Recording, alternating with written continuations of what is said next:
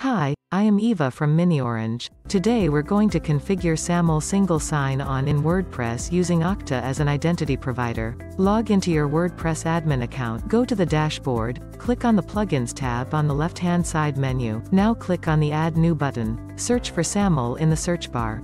Now install the SAML single sign-on plugin by MiniOrange, and click on Activate. We have successfully installed the MiniOrange plugin, which is on the menu bar on the left-hand side. Now let's configure the Okta application. First, log in to your Okta account. Go to your Okta admin console. Navigate to Applications tab on the left-hand side menu. Now click on Create App Integration. Select SAML 2.0 radio button, and click on Next. Name the application as Okta App and click on Next. To configure the Okta application navigate back to the plugin. The SP metadata can be found in the MiniOrange plugin, Service Provider Metadata, tab. Copy the ACS URL from the plugin and paste it in the single sign-on URL in Okta. Now copy the audience URI from the plugin and paste it in the audience URI in Okta. Select the name ID format and application username as per your requirement. Enter your details for attribute mapping and group mapping as per your requirement. And click on Next. Select the appropriate option from the feedback section and click on Finish.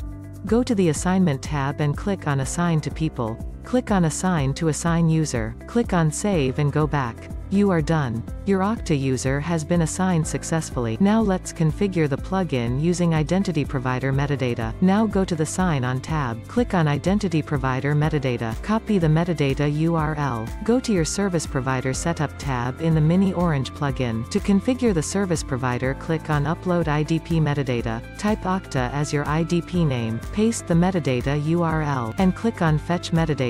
Now your identity provider details were saved successfully. Click click on Test Configuration.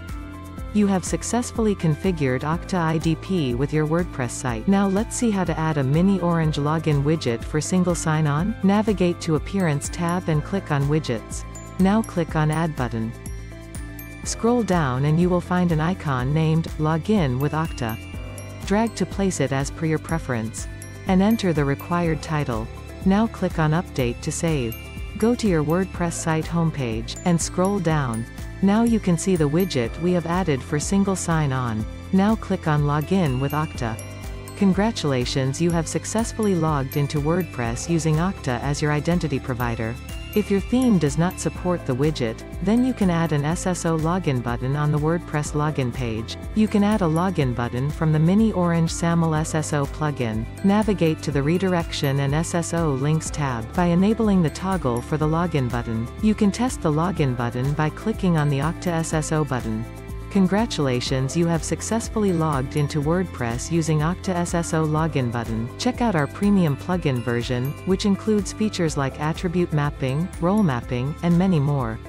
And it also supports add-ons like SCIM user sync, page restriction, etc.